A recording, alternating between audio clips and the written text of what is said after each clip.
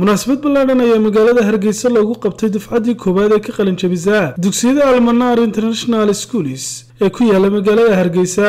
Waxaana munaasabadani ka soo qayb galay mas'uuliyiin kala duwan oo ka socday qaar ka mid a jaamacadaha dalka hay'adaha waxbarashada iyo marti sharaf kale. Ugu horreyna halkaasi waxaa ka hadlay maamulaha dugsiyada almanar maxamed cabdilaahi cabdiraxmaan oo faahfaahin ka bixiyey qalinjabinta ardaydani dugsiyada almanaarna aad iyo aad baan ugu mahad runtii maanta xafladdan waa xaflad mahadnaq iyo bogaadin iyo hambalyo un weeyaan. Maaha xaflad aan taariikhda dugsiga iyo aan ka sheekaynayno. Hase ahaatee dugsiga almanaar ama madaaris almanaar dugsiyada almanaar waxa ay imaka aasaasan yihiin laga soo bilaabo siiba dugsiga sare laba kun iyo siddeed iyo tobankii waana dafcaddii koowaad ee iskuulka ka qalin jabisa marka waxaa noo farxada dhammaan ardaydii sanadka imtixaanka foofoorka u fadhiisatay ilaahay fadligii dhammaantood bayna guulaysteen oo aanu jirin haba yaraatee arday ku soo noqday ama imtixaanka muxuu ahaa imtixaanka waayey inaanu ku jirin.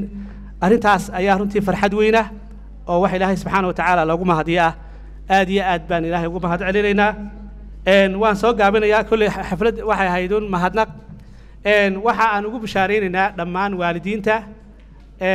Dugsiga insha allahu dhowaan waxaa inoo hirgeli doona oo aan furi doonaa. Qaybta secondariga iminka dugsigu secondariga iyo iyo primariga meel goob ayuu xayndaab gudihiibu ku wada dhigtaa. Laakiin insha allahu tacaala dhowaan waxaan xadhigga ka jari doonaa oo munaasabaddeedana aynu arki doonaa insha allah dugsi aad u casriyaysan oo qalabaysan oo weyn oo muxuu ahaaye fooqa oo loogu talagalay ardayda secondariga in si gaara halkaa iyaga loogu loogu dhigo casharadooda. Taana waan ugu mahad ugu bishaaraynaya waalidiinta dugsiga ku xidhan iyo dhammaan waalidiinta kale ee danaynaysa waxbarashada. Dhankoodagana halkaasi waxaa dalo kala duwan ka jeediyey mas'uuliyiinta iyo xubnihii kala duwan ee ka soo qayb galay munaasabadani dugsiga sare say u dhan yihiin. Uguna mudan yihiin qoladan iminka xafladda soo qaban qaabisay ee foomfoor waxaan leeyahay waa mahadsantihiin in qoloba qol ay karaamayso sharafto oo qoloba sunno fiican ay noqoto qolada dambe qolada hore ay ku dayato waa runtii arrin aada u wanaagsan. Foomfoorada la karaameeyey xafladdan loo dhigayna waxaa laga rabaa sidaa loo maamuusay inuu maamuuskaas iyagana ka muuqdo.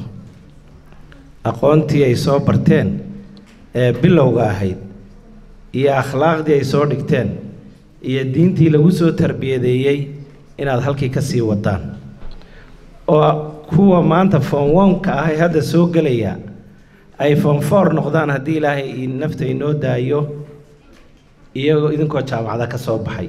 Bahda almanaar waa soo dhoweyn? Aanin soo dhoweynayno waayo in badan ayaan annagu ardayda hadday aqoon tahay iyo hadday kelmada tahayba aanu siinaynay. Waxaanu ardayda aanu maanta halkan kula dardaarmaynaa. Haddaanu nahay bahda almanaar maamul iyo macalinba madax iyo mijaba inay ilaahay subxaana wa tacaala ay ka cabsadaan oo ay ka baqaan. Wakhti kasta ay joogaan iyo goob kasta ay joogaan ilaahay subxaana wa tacaala inay ka baqdaan. Sidoo kale ardayda waxaanu kula dardaarmaynaa inay aqoontooda ay sii wataan.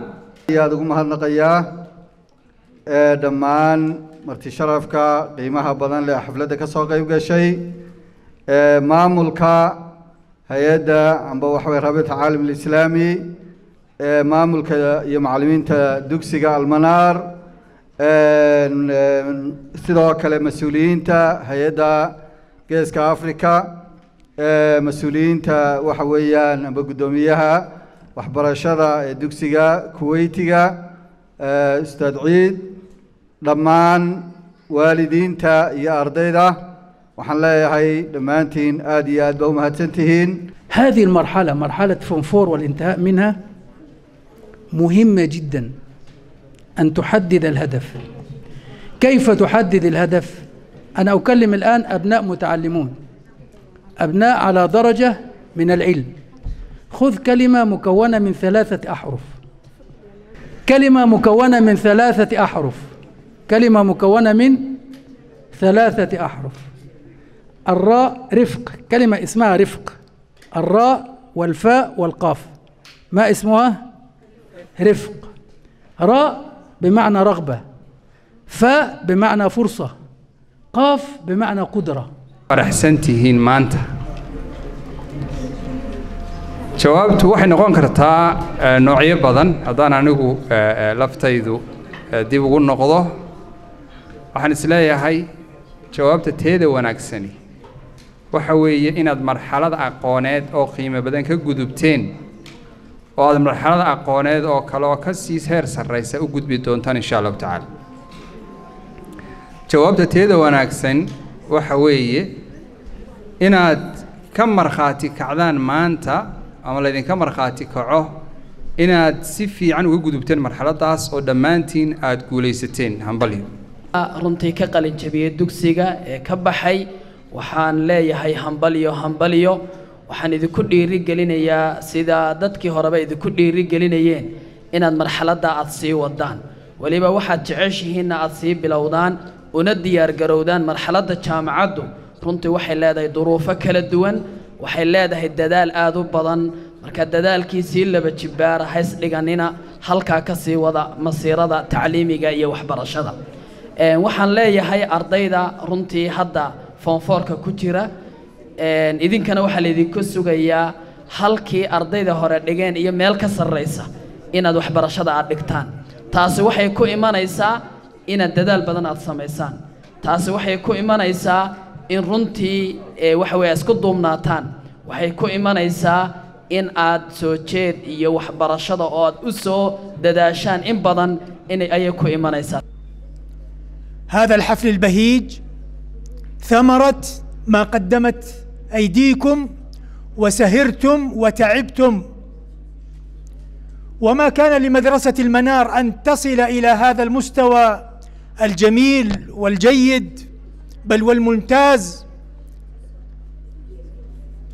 إلا بجهود ثلة من أساتذتها وإدارييها. kale halkaasi waxaa ka hadlay qaar ka mid ah macalin iyo maamule waxaan idinku mahad celinaynaa dadaalka iyo abaalka aad noo gasheen ee intaasoo sano aad waxna soo barayseen khaasatan aad ka soo saarteen foonfoor waxaynu ku jirnaa wakhti adag duhur cadceed macallinka inoo soo samray intaasoo dhan aad waan kaaga macalinayna haddaan haddaan halkan israa kaga hadal qiimaha macallinka laga yaaba inuu socdo maalin wiig bilo qiimaha macallinku wax xaggan lagaga hadli karo maa wax saddex mid lagu soo koobi karana maaha. Gabagabadii munaasabadana halkaasi waxaa abaalmarino kala duwan lagu guddoonsiiyey. Ardaydii ka qalin jabisay dugsiyada almanaar ee magaalada hargeysa. Cismaan axmed ismaan saab t v hargeysa